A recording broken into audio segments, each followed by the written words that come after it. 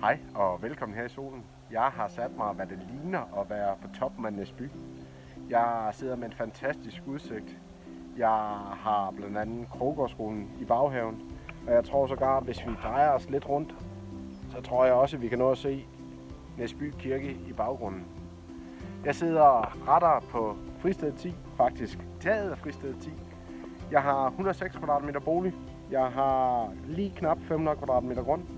Jeg har en god forhave, baghave, og så har jeg med egen garage dertil. Men jeg tænker, at hvis vi lige hopper nedunder, så skal jeg vise jer lidt nærmere, hvad det er, jeg snakker om. Så er vi hoppet indenfor, og jeg er på den anden side af kameraet, for at kan vise jer mest muligt. Vi starter i stuen, der har et rigtig godt lysindfald fra vinduespartiet, der vender mod sydvest. Der er terrassedør til forhaven og terrasse. Rundt i huset er vinduerne løbende blevet skiftet, og jeg har et tag fra 2014. Lige ud, der er køkkenet. Mod højre har jeg entré, og mellem køkken, entré og stue, der er det lette vægge, så man relativt nemt kan lave sig et stort køkkenalrum.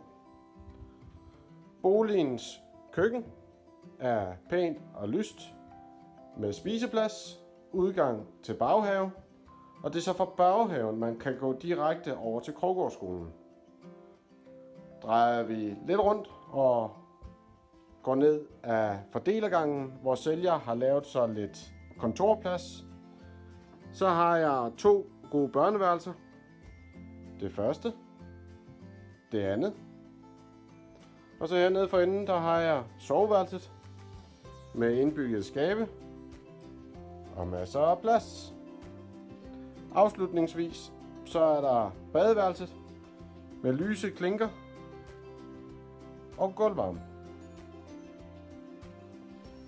Kunne det være noget, så ring til mig på 66 18 00 95. Kan I have en god dag derude? Hej.